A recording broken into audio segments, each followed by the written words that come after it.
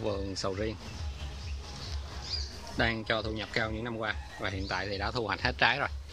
Và hai giống sầu riêng trồng chính ở trong vườn này là giống ri sáu và giống mon thon. Và đây là một cây ri sáu. Và cách để phân biệt thì ta nhìn vào lá. Lá của sầu riêng ri sáu thì nó ngắn hơn và nó nổi gần lá rõ hơn. Còn đây là một cây sầu riêng giống thái mon thon. Và sầu riêng giống thái môn thon thì lá nó dài hơn và luôn nó nhọn hơn. Đồng thời lá nó phẳng hơn chứ nó không nổi gật. Và có một đặc điểm rất lớn để nhận biết đó là đối với cây sầu riêng thái môn thon thì cái gốc cái phần sát đất nó nhỏ hơn phần trên. À, đây là một cái đặc điểm kỳ lạ của giống sầu riêng này. Như ta thấy ở đây nè.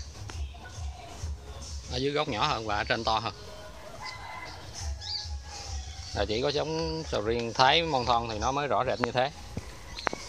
Còn nếu như sầu riêng ri sáo thì nó không có rõ cái đặc điểm này. Đó, tôi chỉ nói về cái khác biệt giữa hai giống sầu riêng này. Còn vườn sầu riêng này thì đã thu hoạch rồi, bây giờ nó chuẩn bị ra bông.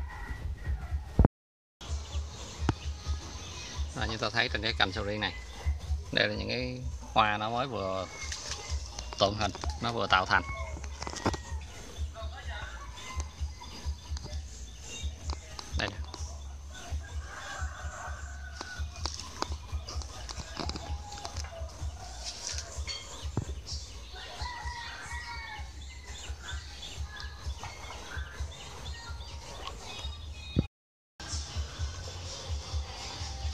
Đây là một cái hoa vừa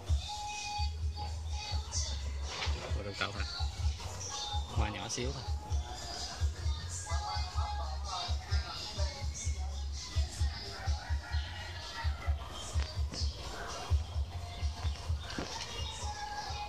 Còn đây nữa là một cái chùm hoa chưa phát triển.